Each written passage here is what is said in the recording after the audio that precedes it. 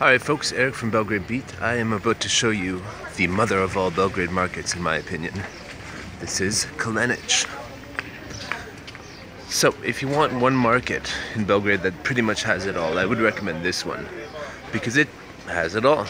And um, yeah, it's in Vračar, so very close to the city center and Slavia. And um, you know, I started um, in Belgrade renting apartments near here, so this is where I discovered a lot of the culinary pleasures that I enjoy today. Um, so you walk in the market from this side, which is closer to uh, Slavia Beogradska ulica, and um, you have lots of sort of junk here. People selling, you know, old antiques and stuff like that in a very disorganized, old clothes in a very disorganized fashion. And then you walk a little further and you get some nice flowers.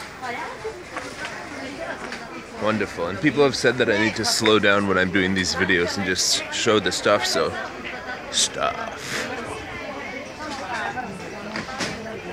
Anyways, this is one market where you do hear a lot of music playing here. There's a real, at least in this part of it, lots of people playing, you know, Balkan music with accordions and stuff.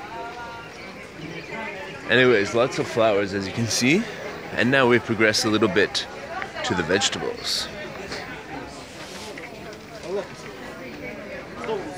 Still the month of May. Oh, beans, beans, the magical fruit. Uh, fresh onions and garlic, cucumbers and potatoes. Everything really nice. I would say that this, who broccoli for a hundred. Oh, it's hundred komad, means like one piece. So that's not a deal. But um, in terms of pricing, I, would say that this market is a little bit more expensive than the other ones. Just a little bit. Um, because it's got the prestige of being, first of all, in a more affluent neighborhood of Belgrade, and second of all, one of the markets where you really have the best selection of stuff.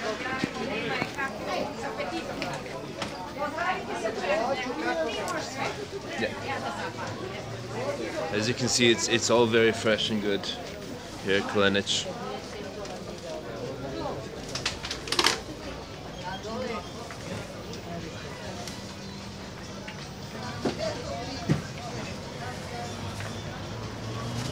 Yeah. So it's May, Thursday morning. This is what's going on. And it's it's good. Feels good, fresh, I mean, it's a very big market. And you have, you know, the corporate meat stuff going on here. Um, yeah, just awesome, fresh local stuff. What can I say? I'll just show you. Candied fruits. And you know, on the edge of the market, you always have these uh, stores that sell cheese and cured meats.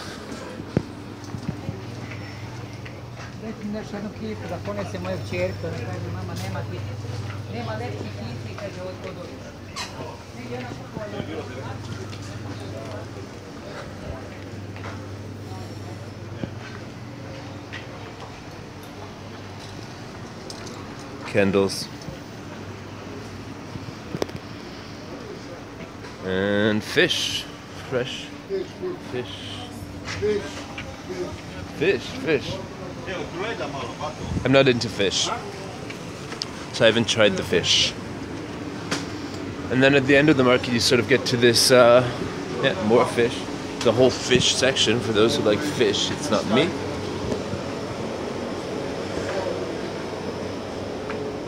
And then this like noodle stuff. Someone pointed out in the last video Zemun Pijaca that these are noodles that you have to deep cook or something. I don't know. Sounds kind of Asian to me. And then finally you get at the edge of the market. Oh, yeah, there's the health food store, Bio Špajz.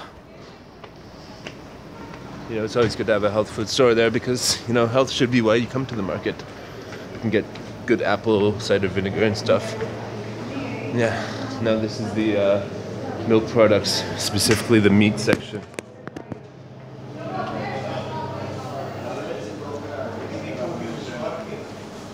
Of really good stuff here.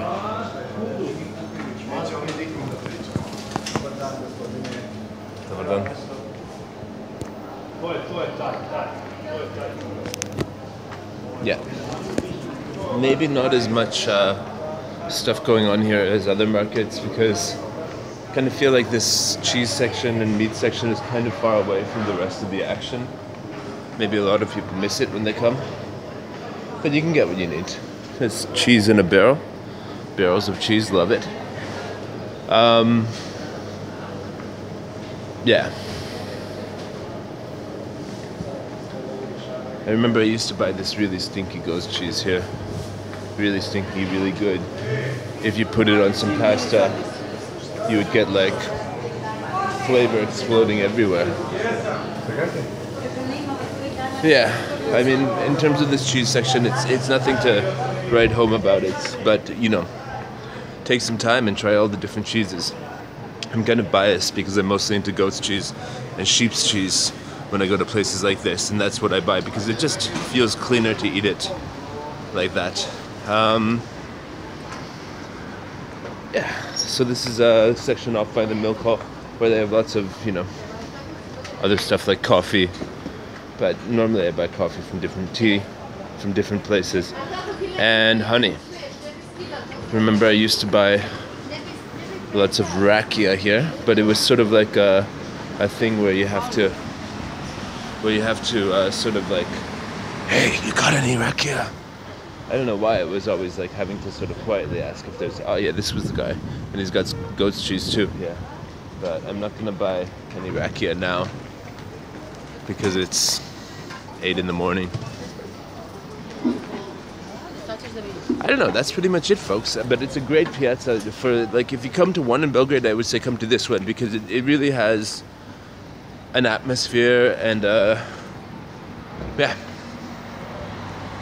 Maybe I just think it's the best one because it's the first one where I sort of experienced the whole thing. Um, but I don't know. Tell me in the comments what do you think of uh, Pijaca in comparison to the other ones in the city, and which is your favorite, and where should I go next? Um, yeah, great. And outside the market, you have these stores which sell bread and stuff like that. More sausage, bread, vegetables, whatever. Not vegetables, they're inside, but you know the deal. Just everything good. Well, they have frozen vegetables here. Everything good in life you can find in the market.